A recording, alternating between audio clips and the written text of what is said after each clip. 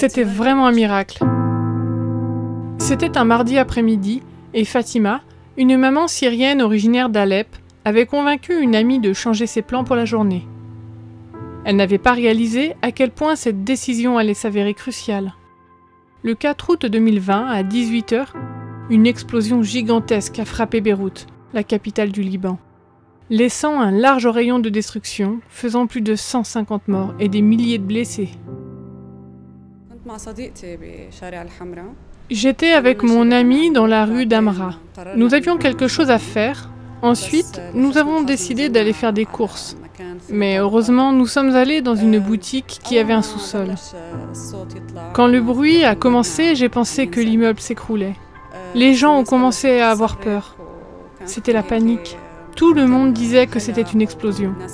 Mon ami avait peur et s'enfuyait en courant. Mais pour moi, la situation était différente parce que j'ai senti comme si j'étais bloqué. Et quand ils ont parlé d'explosion, d'horribles images de guerre en Syrie m'ont traversé l'esprit. Je suis resté debout et ne savais pas comment marcher. Les bruits et les sensations provoquées par les explosions étaient malheureusement trop familiers à Fatima. Il y a quelques années, elle a dû quitter sa maison bombardée en Syrie et mettre sa famille à l'abri au Liban. Maintenant, elle travaille au centre d'apprentissage adventiste, une école pour les enfants de réfugiés, qui a eu un impact positif pour plus de 450 d'entre eux depuis 2013. C'est un centre d'apprentissage. J'enseigne la langue arabe et j'aide à la traduction. Mais je vois le centre comme étant plus qu'un centre d'apprentissage. C'est comme une grande maison pour les enfants. Habituellement, nous rendons visite aux parents d'élèves et la plupart des parents qui habitent dans le voisinage ont de très petites maisons. Ainsi, les enfants disposent d'un endroit plus grand pour jouer, faire leurs activités, s'amuser et sortir dehors. Malgré l'instabilité constante du Liban et la crise sanitaire du Covid-19, le centre d'apprentissage adventiste était prêt pour démarrer les classes assez tôt. L'ami de Fatima était censé aider pour la rentrée des classes ce jour-là.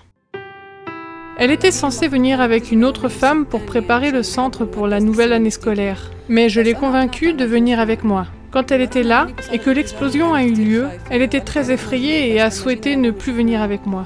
Mais quand nous sommes venus ici au centre et avons vu les dégâts, elle a loué Dieu d'avoir été avec moi. Cette classe dans laquelle nous nous trouvons en ce moment, cette classe a trois tables pour des enfants âgés de 6 à 7 ans. Quand nous sommes arrivés et que nous avons vu que le verre était brisé, j'ai dit, Dieu merci, les enfants n'étaient pas là, car il y aurait certainement eu des blessés.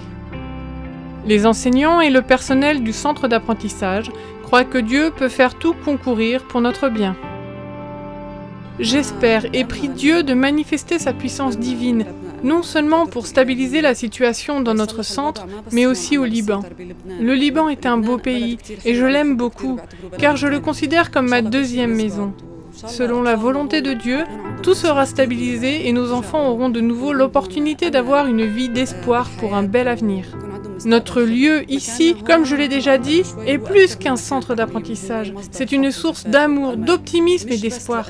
Pas seulement pour nous, les enseignants, mais aussi pour les enfants et leurs parents. Si Dieu le veut, tout sera reconstruit et la situation s'améliorera.